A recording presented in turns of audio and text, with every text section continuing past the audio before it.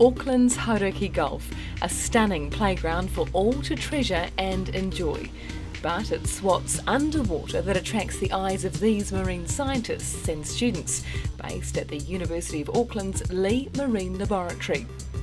Established more than 50 years ago, the lab looks out over one of the world's first ever marine reserves, Cape Rodney to Okakari Point, or Goat Island.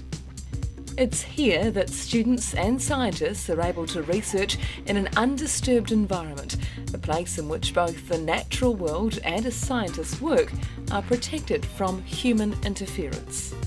Hi, I'm Dr Jenny Stanley.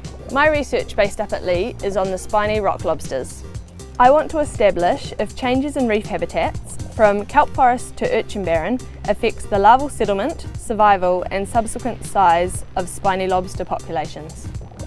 Did you know the number of lobsters here at the Leigh Marine Reserve has increased 11 times? The average weight of lobster has almost doubled in the last 28 years and that baby lobster are enticed to settle by the underwater sound created by kelp forests. Hi, I'm Davide Zazzaro, I'm Italiano and I love a good kiwi mussel.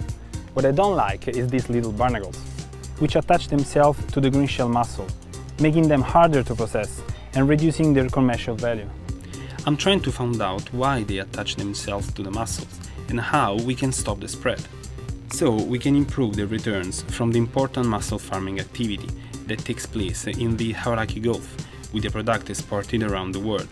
Including to my home country, Italia. And I'm Dr. Anya Slipor, and my research looks into the movements of snapper, one of New Zealand's most iconic fish species. Are there young leaving the marine reserve, helping to repopulate other parts of the Hauraki Gulf? How far do they travel, and where do they settle? Can marine protected areas enhance surrounding fisheries? What positive actions can we take to help restore snapper numbers in the Hauraki Gulf. We've got many people to thank for the generous donations that we've had over recent years to support the research of our young scientists, the work that they've just described to you.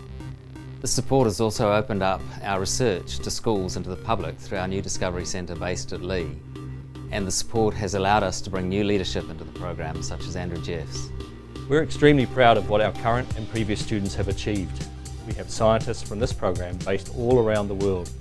They're involved in groundbreaking research, making a real contribution, whether through conservation, managing the environment, or through developing the sustainable production from our seas.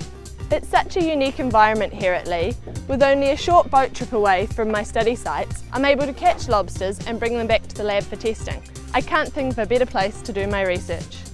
Next door to the lab, the university has created a brand new Discovery Centre, for the first time opening up the laboratory's work and expertise to the many thousands of people who visit Goat Island each year. The centre's not trying to be an underwater world. We want to point people to the real marine reserve on our doorstep. This is more than a community asset. This is somewhere where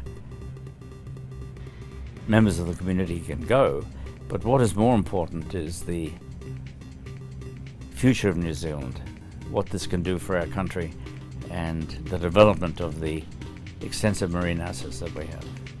Hi, I'm Jessica Fikett and I'm a master's student here at Leigh. And as well as my own research into controlling the New Zealand pea crab, which is a parasite in farmed mussels, we're also trying to create an online resource for school teachers so they can feel confident teaching students about the marine environment.